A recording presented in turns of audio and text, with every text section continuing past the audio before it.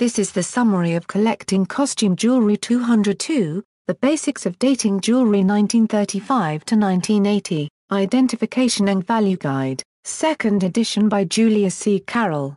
The second edition of Collecting Costume Jewelry 202, The Basics of Dating Jewelry 1935 to 1980 will not disappoint collectors.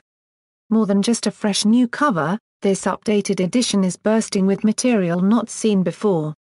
The charts listing the design patent numbers have been replaced by over 2,300 selected design patent drawings organized in easy-to-reference groups. Over 200 new and updated photographs have been added, including an expanded section on Boucher jewelry. Some of the mystery about Regency jewels is revealed through an interesting and informative interview with a nephew of Raymond Albertieri who managed every aspect of Regency jewels from the late 1940s through 1972. Already packed with 160 vintage advertisements, this new edition includes a dozen additional ads for makers like Ciner, Boucher, Haskell, Bogoff, Trifari, Mazer, Castlecliff, Whiting and Davis, and Judy Lee.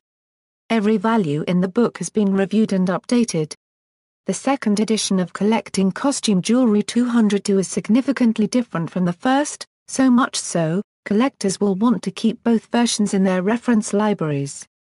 2010 Values For more hobbies and home book reviews visit www.homebookmix.com.